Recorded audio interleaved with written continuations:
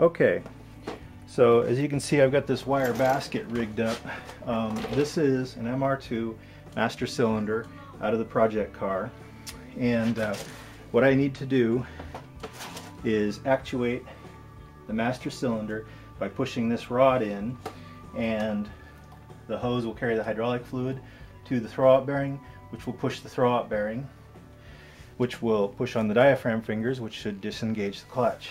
Um, first thing I got to do is pump it up because uh, earlier I was demonstrating how I had plenty of room for wear. Well, I squished all the hydraulic fluid out of the bearing by doing that. So now it's pumped up. Now in order to uh, actuate the throwout bearing and the clutch, you normally push on a clutch pedal with a with the uh, lever that's attached to that and uh, I didn't want to rig all that up here. This is just a quickie test, so I rigged this up.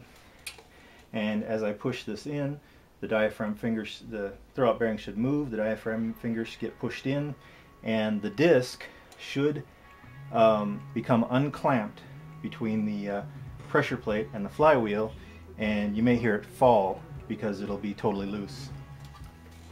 And there it goes, it went thunk because it just, it just dropped because there's no transmission input shaft holding it in place, keeping it from dropping.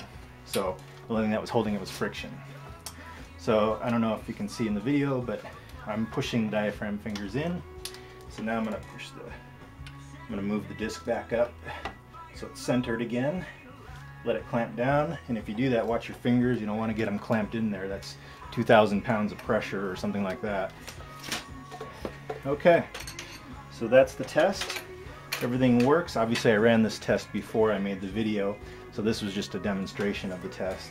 By the way, this is the uh, steel flywheel that I purchased. The one that's on there now is an aluminum flywheel.